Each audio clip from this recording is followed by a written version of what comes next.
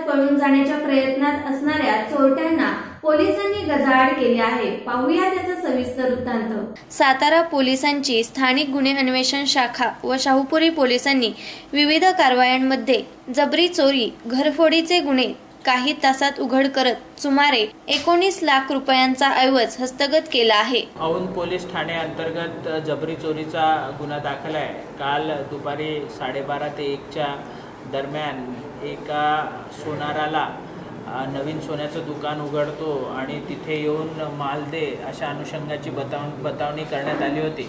आणि त्याप्रमाणे हा सोनार आपल्या जवळचा माल घेऊन तिथे गेला असता त्याच्यावर मिरचीपूड फेकून त्याच्याकडला जो काही सोन्याचा माल होता तो काढून घेण्यात आला.